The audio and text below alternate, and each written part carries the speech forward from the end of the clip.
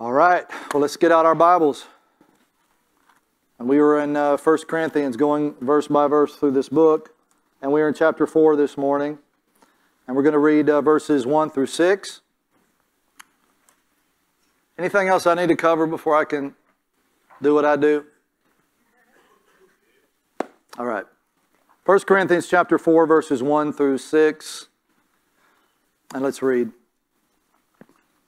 Let a man so consider us as servants of Christ and stewards of the mysteries of God. Moreover, it is required in stewards that one be found faithful. But with me, it is a very small thing that I should be judged by you or by human court. In fact, I do not even judge myself, for I know of nothing against myself. Yet I am not justified by this, but he who judges me is the Lord. Therefore, judge nothing before the time until the Lord comes, who will bring, who will both bring to light the hidden things of darkness and reveal the counsels of the hearts. Then each one's praise will come from God. Father, breathe on our service today. Speak through me, Lord. Open hearts, O God, and lives, and tear down the hindrances, Lord God, in our hearts from serving you well. Forgive our sins and our bitterness, Lord, and our grudges and our selfishness. And help us, Lord God, to truly live out of our heart for you. And give us the freedom, Lord, and the liberty to do that, Father, I pray, as you have delivered us from the power of darkness to the kingdom of the Son of your love. We are no longer slaves to it, but to you. We give you the praise in Jesus' name. Amen. Amen. Just quickly over to James chapter 3. James says in chapter 3, verse 13, Who is wise and understanding among you, let him show by good conduct that his works are done in meekness of wisdom.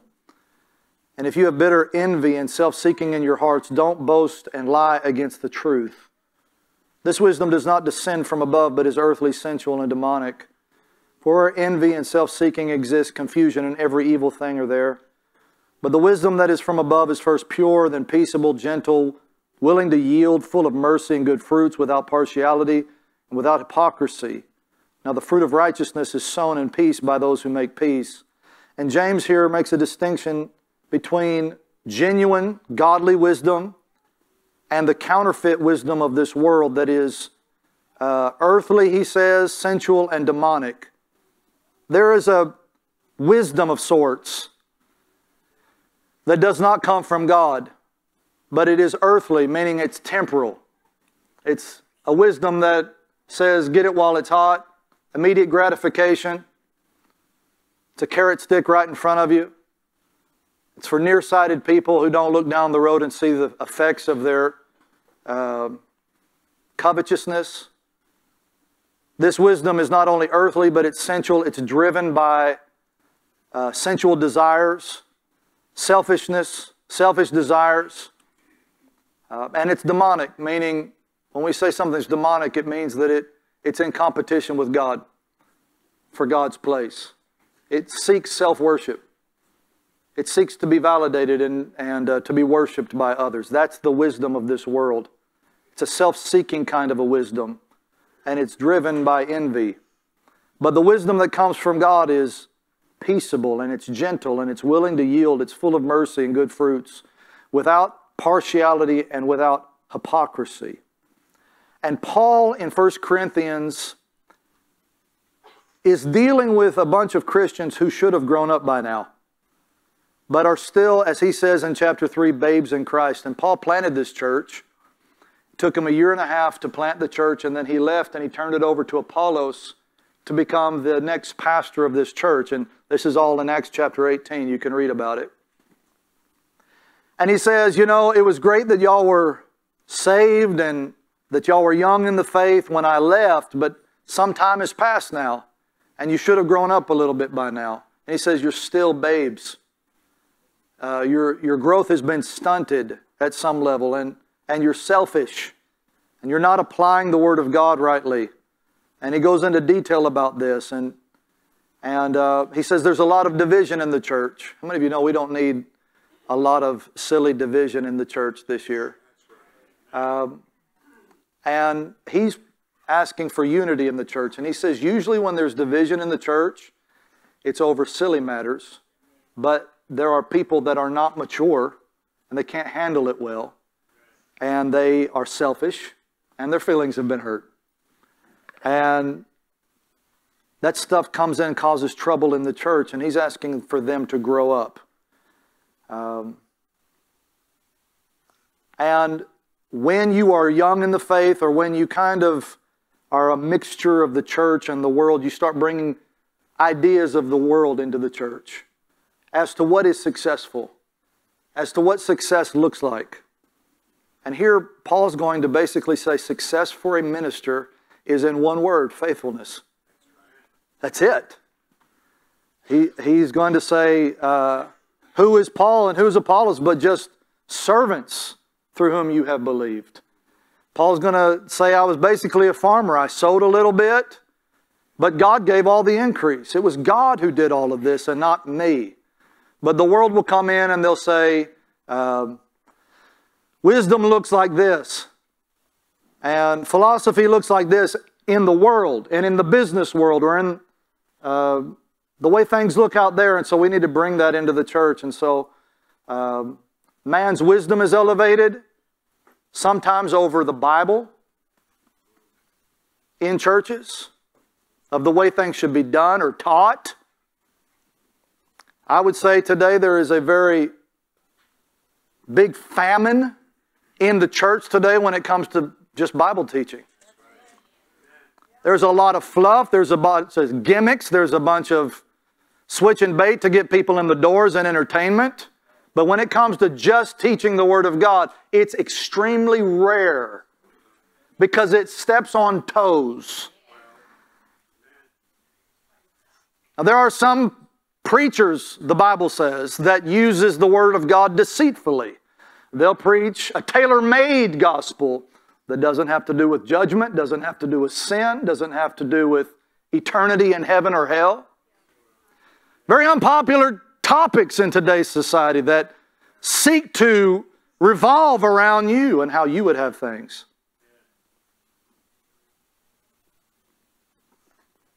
And Paul says that, that stuff has no place in the church. Selfish ambition has no place in the church. Egocentric religion has no place in the church. And he says also, not only is the elevation of self a big deal, bringing that stuff into the church, but uh, and selfishness and immaturity, basically, but also uh, the elevation of men and women in the church, where we elevate them more than we should. Uh, verse 6 of this verse, I've, I do not think I read it. Now, these things, brethren, I, I say figuratively, transferred to myself and Apollos for your sakes, that you may learn not to think beyond what is written about us. Basically, uh, you don't need to elevate people in the church above what is written about them in the Bible. And so we have heroes and superstars in the church, but I just want to say this it's all Team Jesus. We're, we're all to be team a part of a team, and there should be no bunch of people coming in with agendas to celebrate themselves and see who does. Uh, we, we're all a part of a body, and there's one superstar, and that's Jesus. He is the light of the world, and, and we're all here to behold him, okay? But Paul, and Paul's going to say, did, did I? Was Paul crucified for you? Were you baptized in the name of Paul? said, no, Jesus died for the church. Jesus laid his life down for the church. And so, all the gifts that you may have and giftedness that you may have is here to serve Him and is, in a sense, to, put a, to sit in the back seat and let Jesus drive the car when it comes to the church. So, just by introduction, the first part of this book deals with character issues. That's what we're dealing with. And then the last part of this book deals with the gifts of the Spirit and that we're to do things in love. But the world is full of gifts. The world is full of great singers. The world is full of great preachers. Revelation chapter 13 says that the devil himself will give the Antichrist a mouth to speak. That Antichrist is going to be able to blow people away with his uh, whatever, with his with his mouth. Yeah, his or, oration or whatever you call it, okay? He, he's going to be like better than me at talking, all right? And tell you stories that make you laugh. And oh my gosh, this guy's so charismatic. You've got to get a hold of this guy. And the Bible is going to say that's all out in the world. And if you think that that's what makes somebody spiritual in the church, their giftedness, you can get all that stuff on YouTube. You can get all that stuff on TikTok. But when you come into the church, what makes a person holy is their private life and their character and their devotion, not necessarily their gift.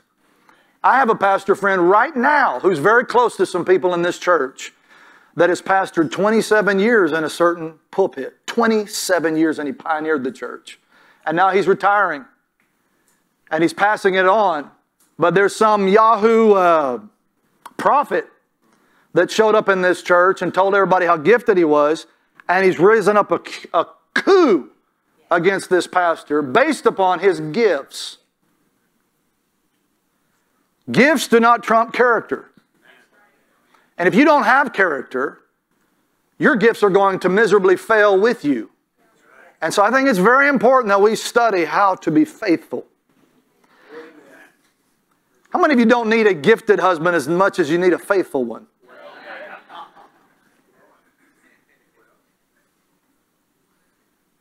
Oh, he runs all over town on me, but boy, he sure can talk. And as much as I want people to feel forgiven in this church, feel accepted in this church, there has to be a level of stability that comes through people that are devoted and faithful. And and I want to say this the higher up the, I'll just say this the higher you go up the ring of leadership in church, the harder it is to live. And Paul's going to deal with this today. He says, You want my job? You got to put some things down in order to be used by God. And he's going to talk about having a holy focus. I'm going to give you three points today, three marks uh, of a minister, a genuine minister. And again, again, by way of introduction, just quickly, um, he, he, is, he is assuming here in this passage that these ministers are godly. In other passages, he deals with false ministers who handle the word of God deceitfully, who have a private agenda, who live immorally. And he's not talking about those ministers. But there are times when God gives us godly ministers who have a track record and they're faithful. They're faithful to their families, they're faithful to the pulpit, and they're faithful to God's word. And stuff still pops up in church that is not right. And that's what he's addressing here. That stuff has to stop, okay? So let's look at this for a few minutes today. Uh, chapter 1, I'm sorry, chapter 4, verse 1, he says, Let a man so consider us as servants of Christ and stewards of the mysteries of God. Number one, uh, he's going to say, consider us, Paul and Apollos and Cephas, consider our identity when you consider us. We are servants of Christ and stewards of the mysteries of God. Let a man so consider us. In the Greek, it is hutos in this way, or in this state in which we find ourselves. Let a man logizomai, consider us. The word logizomai, I love this word. Um, for those of you who know the word a little bit, over in Romans chapter 6, verse 11, the Bible says that we are re- to reckon ourselves dead to the world. That word reckon is logizomai, and it is an accounting word. Go to the bank and find out what's in there, kind of thing. It's a, an accounting word.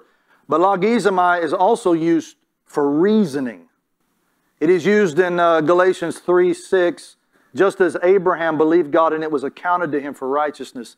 It was accounted to him. But it's logizomai, which also means to, to reason to a definite conclusion.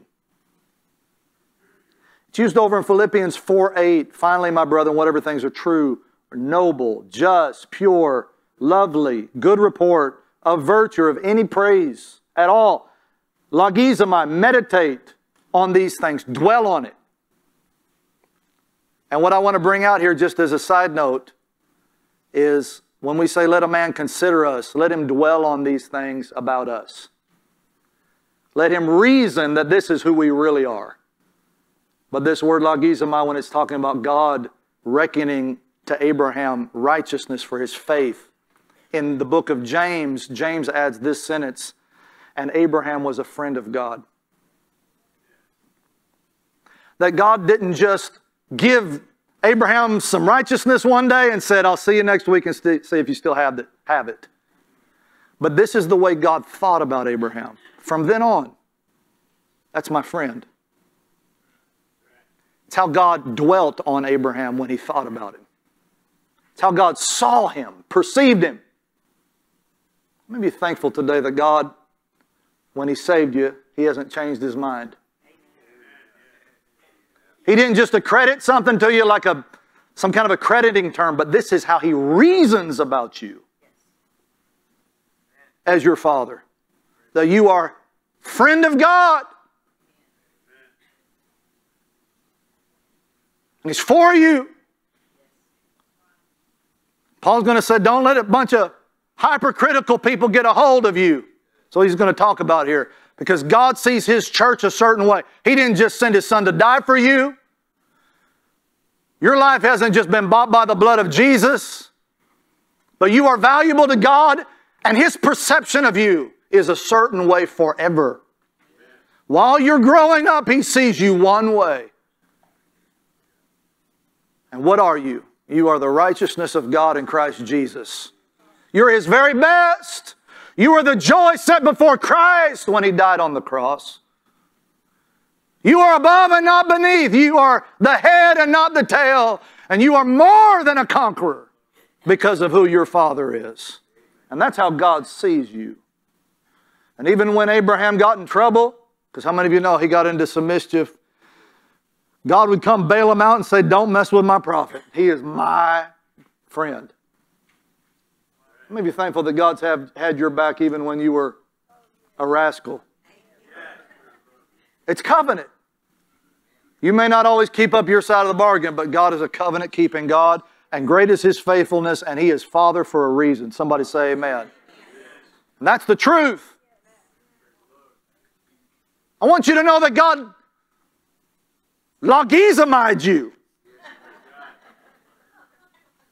He meditates on you this way. Praise God. And in that sense, he says here, let a man dwell on this about us, consider us. This is how a man should consider us. As servants of Christ and stewards of the mysteries of God. Now, this word servant in the Greek doesn't carry out in the English well enough. There is the word servant here in the New King James. It's minister in other translations. Servant is better than minister. Uh, but diakonos is usually used for servant. And then you have doulos, which is for slave or bond slave. But this is the bottom rung of the ladder word for servant. Huperetes. And it is hupe, huper, uh, meaning under, and eroso, meaning to row. And literally, it is the word for those that are galley slaves on a ship that row at the bottom level of the ship where nobody can see them. They're down there and they're just rowing. Have you ever seen those movies where they're or, where they're rowing and if they stop, somebody hit them on the back? Paul says, if you want my job, consider us this: we are galley slaves of Christ. You want to be at the top, you've got to learn how to be at the very bottom. And this word is first used in Luke chapter 1, verse 2. When Luke is writing, he says, just as those who from the beginning were eyewitnesses and ministers or galley slaves of the word who delivered them to us, delivered what they saw to us. This word is used in conjunction with the ministry of the word. That we are to be slaves of Christ. If you want to be great in the kingdom of God, you must learn how to be a slave. And not just somebody who is a slave, but somebody who is in deep labor for little reward. There are a lot of people with ambition in the church. They think, man, if I get to a certain level, I'll be. They have no idea of the hits that come all week long. Let's look at what Paul says about the hits that come over in uh, 2 Corinthians um, chapter 6. He kind of speaks of being a galley slave of God here in verse 4. He says, But in all things we commend ourselves as galley slaves of God huperetes of God, ministers of God, in much patience, in much tribulation and needs and distresses and stripes, in imprisonments and tumults, in labors, in sleeplessness. Have you ever lost sleep praying for people? In fastings, by purity, by knowledge, by long suffering, by kindness, by the Holy Spirit by sincere love, by the word of truth, by the power of God, by the armor of righteousness on the right hand, on the left, by honor and dishonor. There are people that love you, there are people that don't. By evil report, by good report. People, some people say we're deceivers and yet we're true. We're not very much known and yet we're well known. As dying and behold we live, as chastened by God at times yet not killed, as sorrowful but always rejoicing, as poor and yet making many rich, and as having nothing but possessing all things. This is what a galley slave looks like. And yet we have the comfort of the Holy Spirit and the provision of God to do what God's called us to do. But there's a lot of pain, and you better know that you're called to the ministry. Whoever wants my job, glory to God.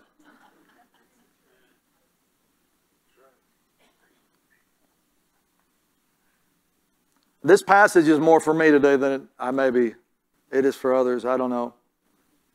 But I see this very important in, in my job description. John, you signed up to serve for no reward. And if you want longevity in your ministry, you can't do it as unto people, but as unto Christ. And it's got to be for Him, because if you love Him with all your heart, you're going to be good business for your friends if you will live to serve Christ and not the praise of people and to be seen by people, but just to sign up to say, Lord, I'm your slave. In Acts uh, 26 16, Jesus meets Saul of Tarsus on the road to Damascus and he knocks Paul off of his donkey, right? And a great light shone, around Paul as he's going to murder Christians. And Jesus arrests him there and says, Rise and stand on your feet, for I've appeared to you for this purpose to make you a galley slave, a minister. It's the same word. And a witness, both of the things which you have seen and of the things which I will yet reveal to you. You're on my payroll now, boy. You thought you're going to kill a bunch of my people, and now I appeared to you for this purpose to make you a galley slave and a witness of the things you have seen. Well, I'm really feeding somebody today. You're like, I came to the wrong church. There's nothing uh, warm that I'm feeling right now about who I am. And a witness of the things you've seen, and the things I'll reveal to you. Over in 1 Corinthians chapter 9. Well, I'll turn there. Paul says in chapter 9, verse 16, Paul says, If I preach the gospel, I have nothing to boast of, for necessity is laid upon me. And how many of you know necessity was laid upon him on the Damascus road? How many of you go to a job because necessity is laid upon you to work and to make money so that you can feed your family? How many of you know that's true?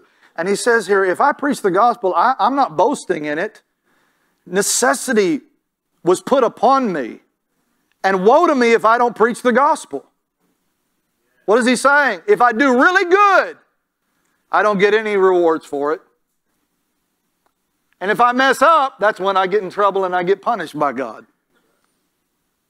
Woe to me if I don't preach this gospel. Some people go, Oh, John, you've been preaching in this pulpit for 13 years. you have such longevity. Part of me is like, man, I know that I'm no good to anybody, including myself, if I'm doing anything but this right here. And woe to me if I go wander off someplace, God's going to find me and it won't be happy. For if I do it willingly, I have a reward. But if against my will, I've been entrusted a stewardship. Something God has put on my life, a, a stewardship. So you be faithful here. Verse 18, what is my reward then? That when I preach the gospel, I may present the gospel of Christ without charge, that I may not abuse my authority in the gospel. He says, My reward as being a minister of the gospel, if I'm just a slave, what is my reward? Here's my reward that I'm more of a blessing than a burden to the body of Christ. At the end of the day, I can look at my life and say, I did not burden the church with sin or some other selfish issue in my life but I was an absolute blessing to them. That's what I get out of it.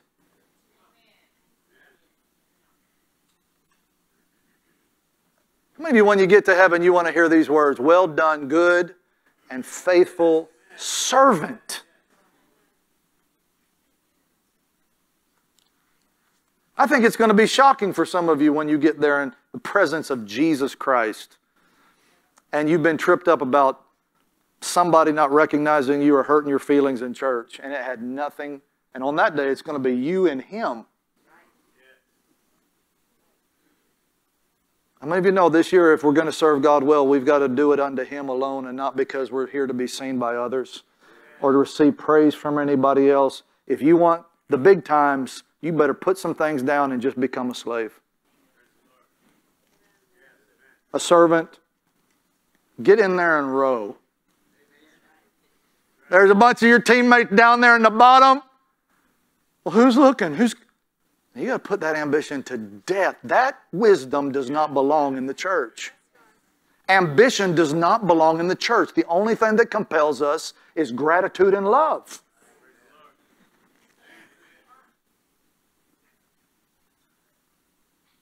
And if you've been around some mean Christians, I want to apologize to you.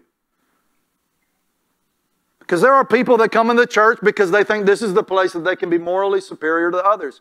And I'm telling you right now, you're nothing but dirt breathed upon. There ain't nothing good about you apart from what God has done in your life. And we're here to give Him all the praise for any good He's done in us. Amen? You take the rest of that garbage out the back door. Amen. Glory to God. Line your bird cages with it.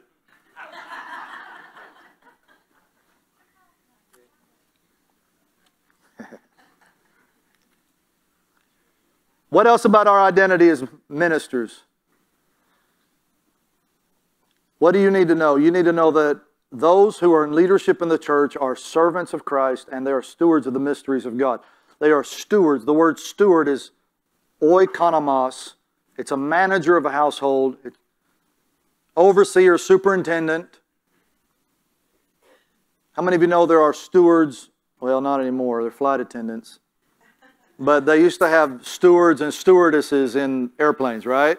And what would they do? They would serve you peanuts and drinks and tell you how to stay safe.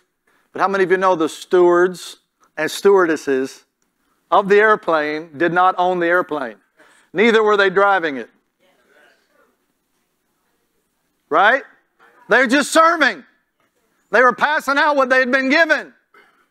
And what is the job of a preacher? He is to be a slave in the house of God for Christ's sake, minister to the needs of the people, do unto the least of these, be happy with little things that nobody knows until God gives him more.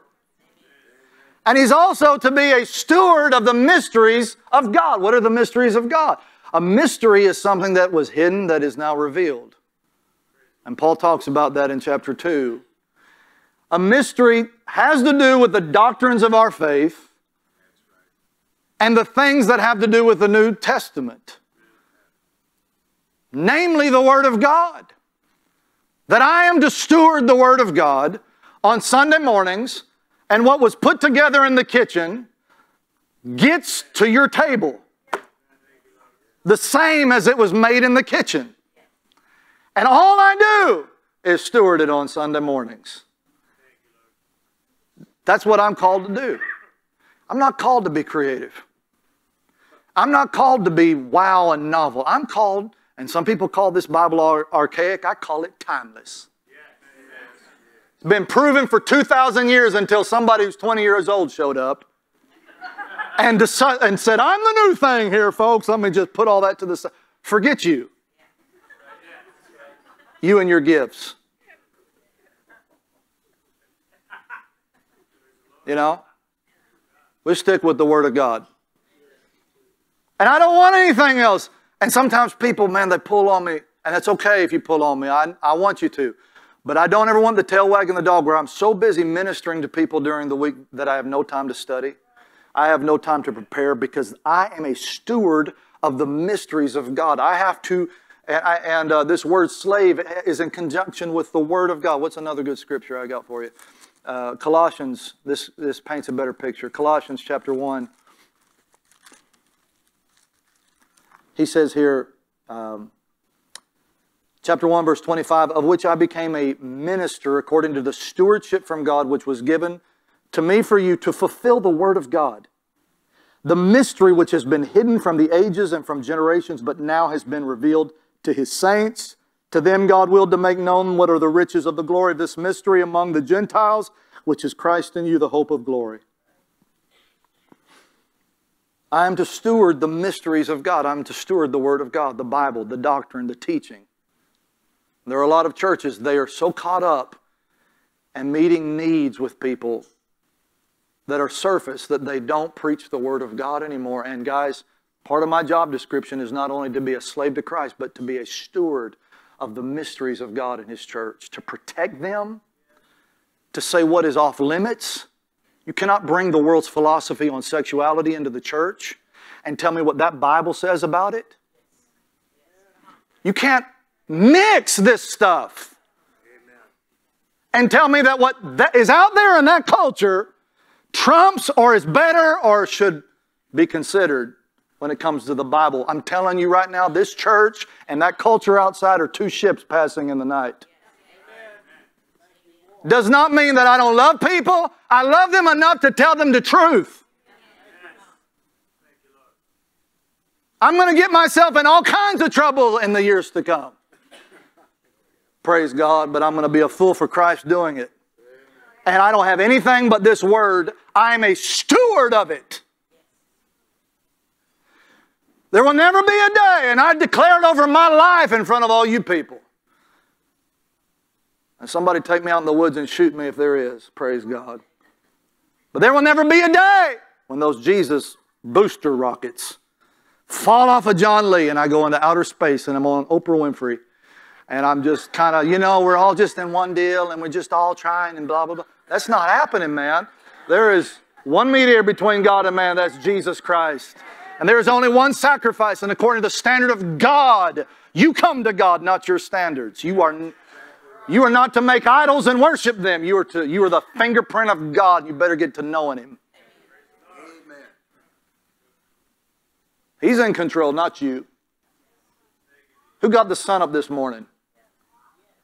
You can't even balance your checkbook, but you're telling me that you got ideas on how to how you know God. Shame on you.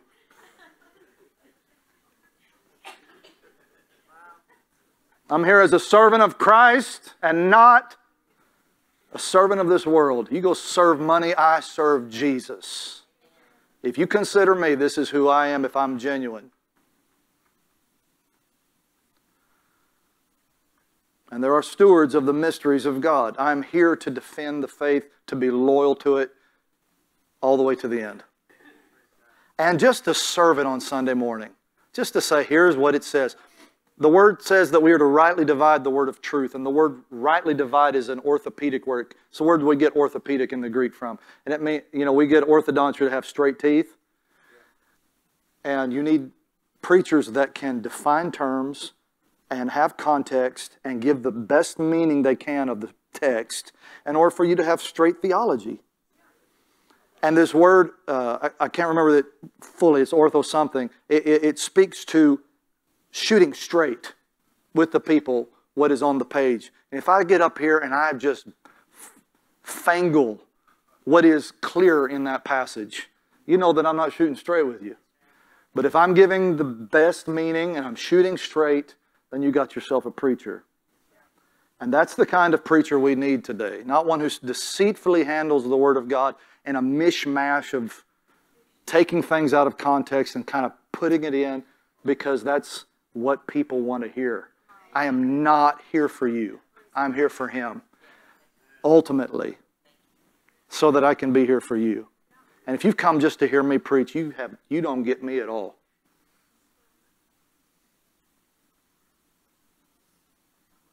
Amen. All right. Happy time. Let's go to the next point. Our identity. If you want to be big and mighty in the church, learn how to go down there and row at the bottom of the ship. And wish for your best reward to not be a burden to people in the church, but a blessing. And be a steward of what God has put in your hands. Let me say this last thing. As a steward, you don't own the mysteries of God. Some people come to church, they say, oh, I've heard all this a million times. I'm familiar with all these things. John, you're not telling me anything I don't know. I wish we'd have some more stuff. But can I tell you that these are not your mysteries that you own? They are God's mysteries that He owns. And you're to steward what's important to Him, not you. Some people, they say, oh, this passage is important to me, but I don't like these other passages. It's not your mysteries. You just pass out the peanuts. Let somebody else fly the plane, dag nabbit.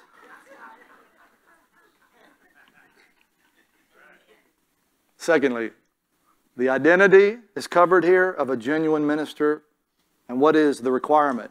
Moreover, the word moreover in the Greek is the word loipon. It means the remnant. What's left over? The rest. Or what's from this time forth. And I believe what Paul is saying in this word moreover.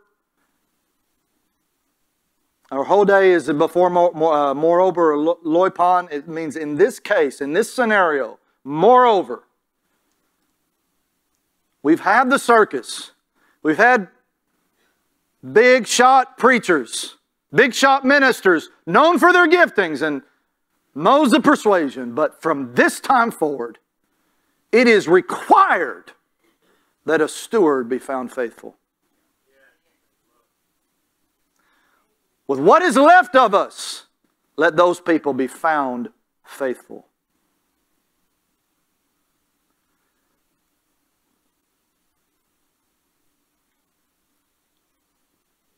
It's not John Lee's church. He just preaches there and stewards the Word of God there.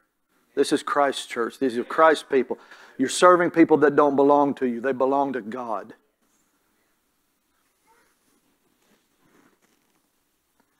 Be found faithful, zeteo in the Greek, uh, to be required. This is what is to be sought after in the church for stewards. They're just faithful. How many of you uh, if you were the boss of a company, you'd want faithful employees. And the word faithful in the Greek is the word simply trustworthy. Trustworthy. How many of you want to be trustworthy people? How many of you want to be trustworthy? Not just somebody with an opinion on TikTok or, uh, or Facebook. Everybody's, oh, I have a mouth, I can speak. But, but, but also just trustworthy. That's what's required. It's not an option. This is what is absolutely mandatory when it comes to leadership in the church. They have to be faithful. How can you be faithful if you're not disciplined? You say, oh, you're getting into the legalism, John Lee. No, I'm just saying maybe we could grow up a little bit this year. Be less selfish, less lazy, and more show up. How many you know the world would be a better place if they had more faithful people in it? Just faithful, just steady, just consistent, just there. We need this in stewards of the house. We need faithful people. God is not measuring my rewards as John Lee based upon outward success, based upon numbers, based upon people liking me or disliking me. The one thing He is going to judge me on at the end of the day is faithfulness. That's it. Were you just, were you faithful? There have been times in this ministry where I'm like, Lord, I don't know which end is up. I remember one time it was real bad, and I was angry because nobody showed up for Easter Sunday. This was a while back. I mean, people showed up like 15 minutes late to Easter, and I'm having a meltdown. And I get past that Easter, and the Lord just speaks to me. Says, I just want you faithful, man. Just be faithful. Because I'm putting down ambition in you. I'm putting this stuff down, and I'm just making you my guy so that you'll have longevity of ministry because it won't be about who likes you. But if you do it for Christ. Amen? How many of you don't want to get tripped up this year because of some crazy, selfish person that just made you crazy and selfish too? Man, I'm not following that. I follow Him.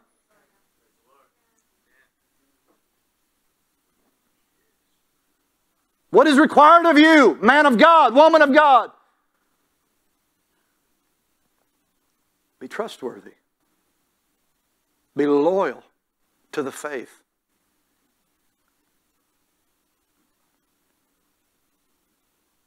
And the word here, eureka, or to find, that you're so busy being faithful that you're not worried about promotion. You're not worried about this. And God comes and just finds you and says, Now, you've been faithful in this little thing. Now I'm going to raise you up to be faithful over much. You remember David out in the field with his sheep? And all of his brothers had come in to be anointed by Samuel, and they're all standing there. Who's getting the promotion? Who's getting the promotion? And David's away from the whole scene in obscurity, just taking care of what is his responsibility. And God sends for him because God doesn't look at the outward appearance, but looks at the heart. And he just says, That's the guy that I can use.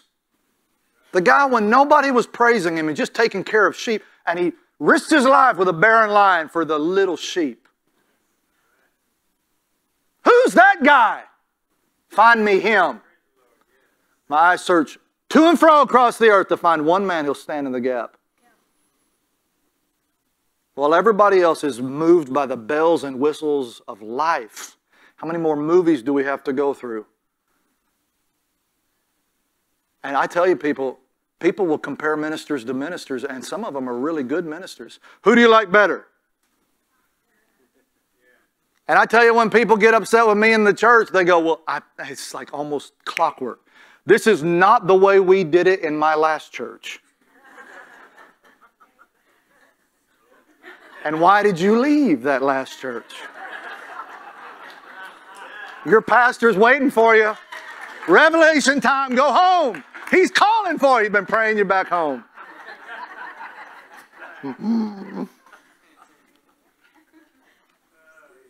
we did this different in the 80s.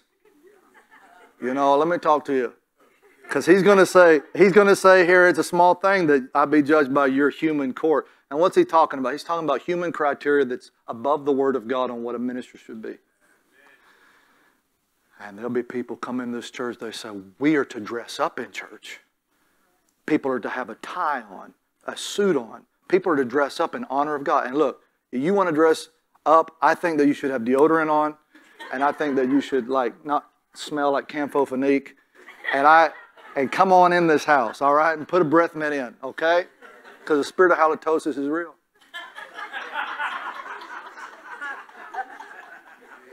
But I just got Oh, I'm honored today. I love how I am. Glory to God. I don't care. I just got back from I just got back from Spain and I went into some of these Catholic churches and beautiful churches, but they had the priest's garb behind stained glass of some guy that died. It's got their big old bonnet and it's got all their garb and then it had their undergarbs and they just, oh, this is so amazing. And then I had this one guy one time that come up to me and he says, John, we always wear a tie when we go to church. It was the early 2000s. And man, it wasn't two months later I found out he's cheating on his wife.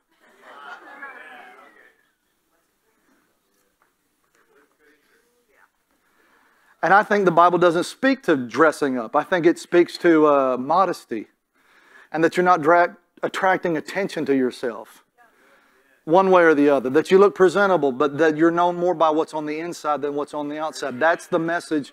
And how you, and I asked the guy that told me to wear a tie Dag but he had an oiled old nasty mustache telling me to wear a tie. I'm the preacher. Get on down the road to your high church. running around on his running around on his wife.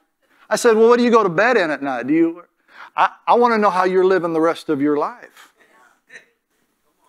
I don't care if you wear a suit into church and that's how you honor God with it. But I, I care more about what's going on in your house and how you're treating your wife and your, your kids and if you're living selfishly or you've grown up to the point where you've become a slave of Christ.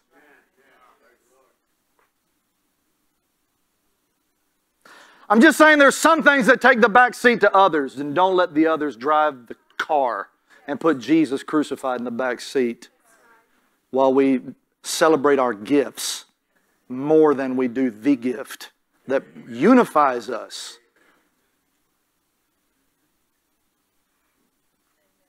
So, what is the requirement of these slaves and these stewards? Man, be found I had a guy the other day say, Oh, I just can't wait till Jesus comes. I'm so tired of the politics in this world. I'm just set on ready for Jesus to come. And the Bible says that we are to anticipate it and look forward to it. But I think some people just want an escape. Just get me out of this horrible place. Are you faithful to what God has given you? Or are you blaming society for you wanting to run? Brothers and sisters, we are to occupy until He comes and we are to be found faithful. And let Him give the increase and do whatever He wants to in this church. But my laser focus is slaving and stewarding and being faithful.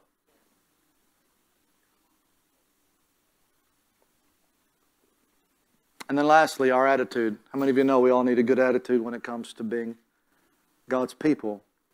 He says in verse 3 But it is a small, very small thing that I should be judged by you or by a human court. In fact, I don't even judge myself, for I know nothing against myself. And yet I'm not justified by this. But he who judges me is the Lord. Therefore, judge nothing before the time until the Lord comes, who will both bring to light the hidden things of darkness and reveal the counsels of the heart. Then each one will get their praise from God. Our attitude, he says that Christ will Bring to light the hidden things of darkness and reveal the counsels of the heart. The word counsel is the word boule in the Greek. It is the word will or purpose or hidden agendas or motives of the heart. How many of you believe that our motives are as important as what we do? And Paul says it's a very small thing that you judge me. I'm Apostle Paul, and y'all just got saved. I've planted churches everywhere, and y'all are telling everybody that Paul's not as good as Apollos. Wow, wow. But he says, the word, and, and, in the Greek, the word anakrino is the word to judge. It, it is not just krino, which is judge not lest you be judged, Matthew 7 1. But anakrino means to size somebody up. Ana, up, judge them all the way up. It is a small thing, he says, that you size me up. And it, it is a hypercritical judgment. Where there's a hypercriticalness that gets in the church, where we start to play God with people's lives. He says, It's a small thing that you examine me. The, the word means to examine with torture. Have you ever been examined with torture by somebody who is hypercritical of you? Just like, oh my goodness, get me through this. It's a very small thing to me. And as a pastor, boy, if I could just get to the place where it doesn't matter nearly as much to me what people think about me as to what God thinks about me. It's a very small thing to me that, because I love it when people say, oh, that was a great word.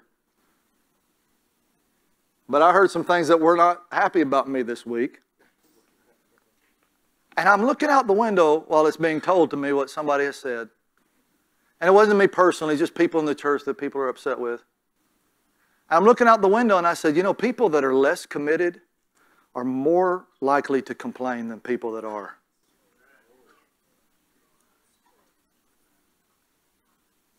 People that are more about just serving and keeping their head down and loving Jesus and staying in their lane are a lot less likely to complain than hooper uh, anakrino, opinionated people who have done nothing. And there are some people, that say, I've been in this church for a year. Well, brother, have you been in this church for 13 years?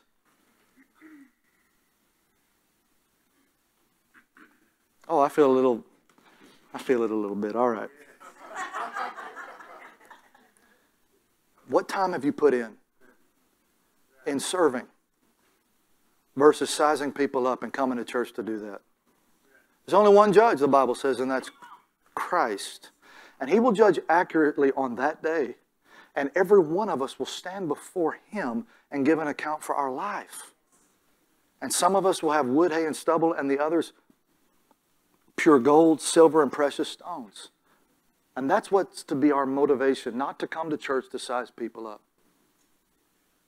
We are to be discerning, but we are not to usher a verdict on people.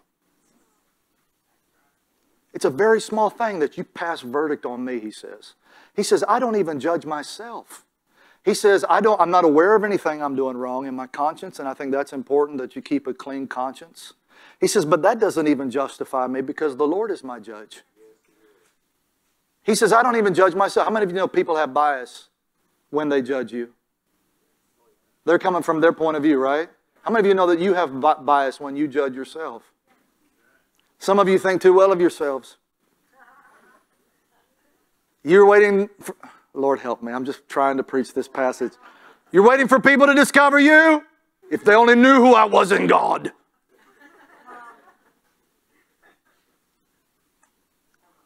And you may be something seriously awesome in God that nobody has discovered.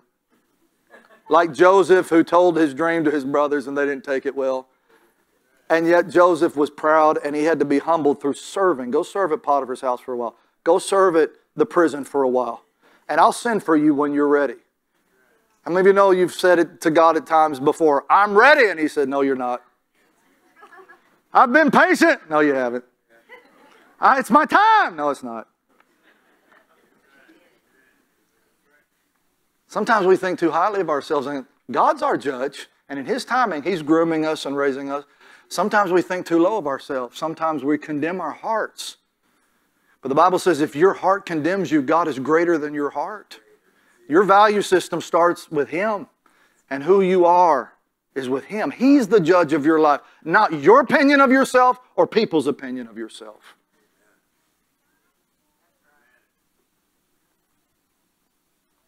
I think it's important to keep your nose clean and your conscience clear, yes. But ultimately, God is your judge, not man.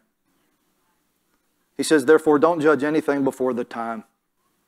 God will bring out the hidden things of darkness. You know, He'll take care of His house. And if there's squirrely business going on, God will see too, bringing it to light. How many of you know that's true? You don't have to go police everything to keep Him from doing that. The Bible does say that we are to judge ourselves that we don't be condemned with the world. We examine ourselves, but do so with the Holy Spirit leading and guiding us and trusting that He's pointing things out in our life, our conscience. But none of us have arrived to the place where we are judged. Stop judging each other. Stop passing judgment on each other. You may have a discerning spirit about something or a burden and go talk to that person, but even then, that's somebody. Who are you to judge another uh, manservant, the Bible says? Who are you? Nobody. I'm a slave, I'm a steward, I'm to be faithful, and I'm not to judge. You know, the Bible says, what's John 3.16? For God so loved the world that he gave his only begotten Son, that whosoever should believe on him should not perish, but have everlasting life. What's the next verse? For God did not send his Son into the world to condemn the world, but that the world through him might be saved. Jesus has not sent us to condemn everybody, to bring people in long enough to really hyper criticize them. We're here to get people restored. We're here to put hope into the hearts of sinners because our God has saved us from such wretched. How many of you have been saved from stuff and you didn't deserve it and God did it anyway? And, and with that love and compassion, we're to bring that to the church instead of going, now let's work on so and so. You get that gossip, hypercritical stuff out of you That stuff has to be destroyed. God will take care of everything. And you just seek people's best, man. You just go after their very best. Keep counseling keep loving them, and, and, and it's the spirit behind it that is a spirit of redemption, not of being a Pharisee who's critical of everything and missing the whole boat of why Jesus came.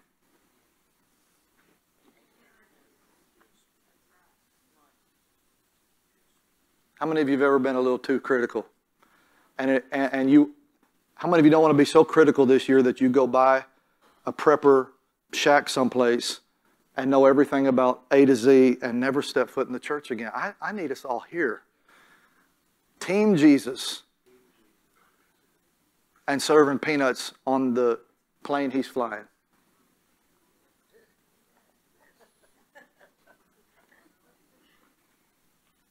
Amen? Let's have our attitude right this year. Let's do it unto Him and love people and let God do the work. How many of you have grown up a little bit in the Lord to where what people say about you just doesn't affect you the way it used to? Can I, you feel like you've made some progress where it used to just break your heart and you're like, oh, and now you're like, oh, cool.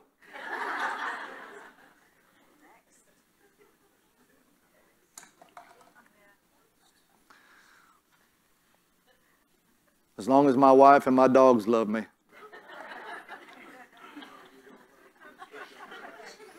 How many of you got a dog that still loves you? Or you got a God that loves you a whole lot more and sees you a certain way, and He is for you, and He is reasoning it to a conclusion, and He has reckoned to you His righteousness, and you're a friend of God, and you don't have to worry about people sizing you up anymore. And you can't live under that if you're going to serve Christ.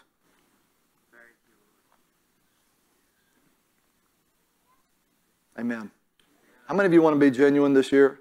How many of you want to have your identity in serving and loving others and serving Christ? How many of you want to be a steward of the truth and not preach something that just appeals to you on Sunday or Monday or whenever? How many of you want to be faithful? How many of you want to have a good attitude this year that says, I do this for Him and nobody else? Amen. Let's all stand this morning. Lord, I pray for the ministry here, and I pray for uh, the sincere hearts that have come into this house, Lord God, the elders and the leaders here, Father, that you keep this church, Lord. It's the apple of your eye and flourishing, Lord God. And I just ask you to keep me from being hypercritical this year. Keep me, Lord God, as a faithful man to my wife. Lord, help, help the leadership here be blameless. Help me to be faithful to you in the secret place of my life when nobody's looking. Help me to be transparent. Lord, I look to you for it all because I know what I am without you.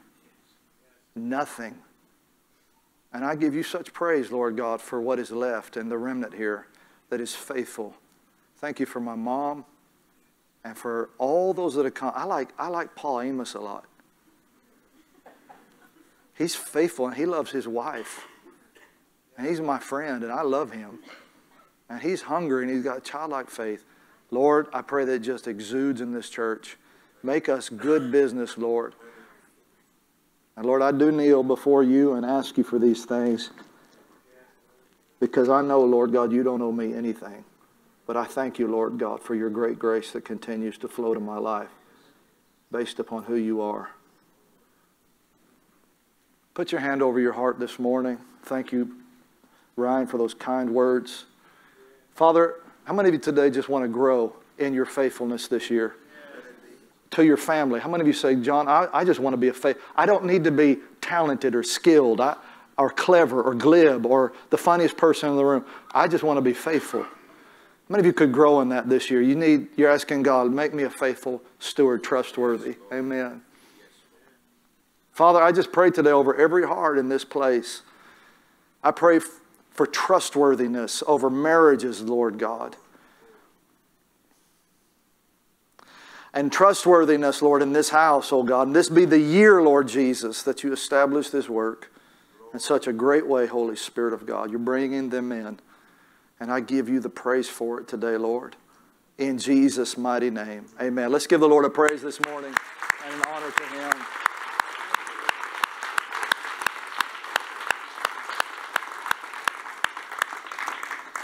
We're going to open up the altars this morning for prayer. If you need prayer uh, for healing or anything going on in your life, please come on up.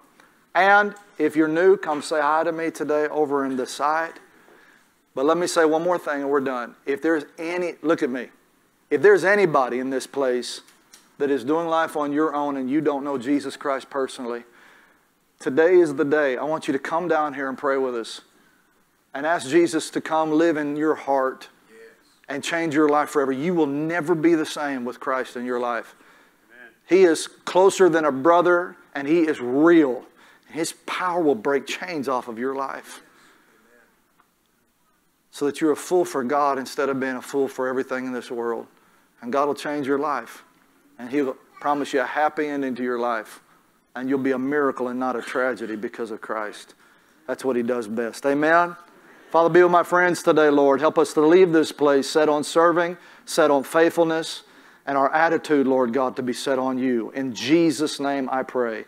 And everybody said, Amen. Amen. Amen. And God bless you today. Amen. Thank you.